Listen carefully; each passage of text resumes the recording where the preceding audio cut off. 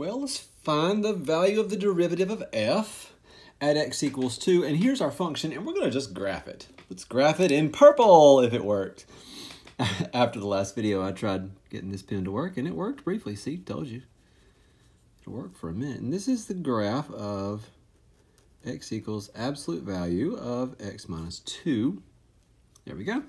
And okay, let's let's start talking about what this truly means. What are we really doing? And we've said that in the, the last video, but let's do it again and let's put it in a little bit of a different phrasing. We are finding the value of the derivative, we're finding the slope of the line that's tangent to a curve. We're finding the slope at a point. That's what we're really doing. So as we followed along here, we found the slope here was 5. As we followed along here, we found out the slope doesn't exist, and it doesn't exist because the slope coming in from this side and the slope coming in from this side, they didn't match. So I want to know the slope at 2, not with the purple pen, I want to know the slope at 2, and the slope at 2 is, well, I come in from this side and I have a slope of negative 1. I come in from this side, I have a slope of positive 1. And, and the slope is not going to match up. I'm going to go ahead and tell you that this this does not exist. The slope is undefined. And we're going to do it algebraically as well because any absolute value function can be written as a piecewise function. So let's do it. This piece of the piecewise function is for all the values that are less than 2, and this piece is for all the values that are greater than 2, and somebody needs to be equal and they match up, they meet at that point. The function is continuous, so it doesn't matter which one. I'll just make it that one.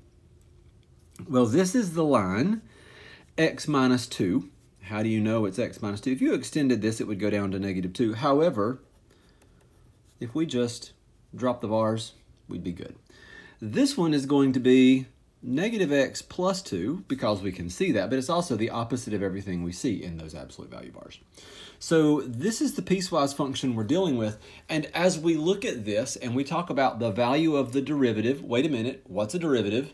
It's slope. Then let's just find slope. On the previous problem, the slope here was negative 1 half on this piece, and the slope was negative 2 for this parabola coming in at that point. Okay, so the slope of a parabola is not as easy to find as the slope of a line. This was negative 1 half. What's the slope of this line? Negative 1. What's the slope of this line? Positive 1. They don't match up. So if we wanted to represent it differently, we could say that the slope as x approaches 2 from the left of f of x minus f of 2 over x minus 2. And I'm going to change a little bit here. I would say f of 2, but again, technically it wouldn't equal there if we're going to follow that hard and fast rule.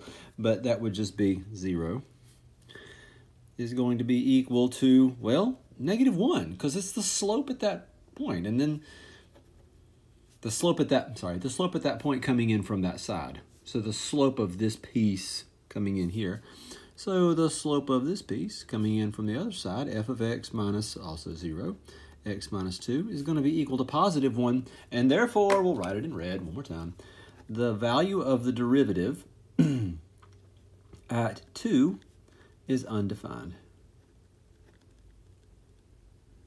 Okay, what's the slope of the line tangent to this graph at x equals negative 1? Okay, well, we do have a piecewise function, but this one seems to flow a little more smoothly. So I wonder if the slope coming in from this side and the slope coming in from this side match up. If eh, I'm not asking is the function continuous, yeah, it is, but what I'm really asking is do they have the same slope coming in? And we're going to have to figure that out, and we'll use green.